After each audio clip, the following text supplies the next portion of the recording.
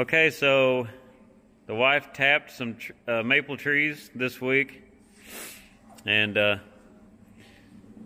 we got approximately 40 gallons of sap. And we've been boiling this down all day today. And uh, right now, we've got about a little over an inch in this cooker. And uh, this is a 16 by 24 evaporator.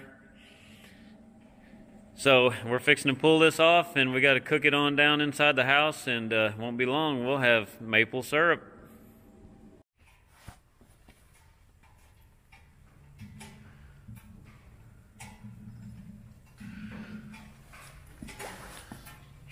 There it is. There is the maple sap.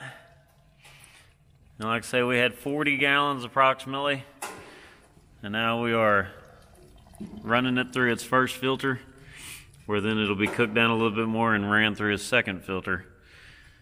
And from there, we should have maple syrup.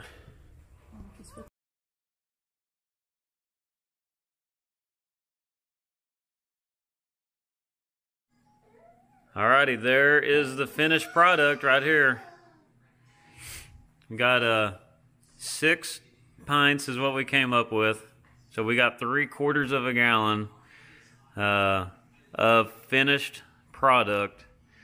And we started with approximately 40 gallons of maple syrup sap. So uh, it is roughly 40 gallons to a gallon. So, but uh, this is just something we thought we'd try and give it a shot and see what we thought of it. And uh, there it is.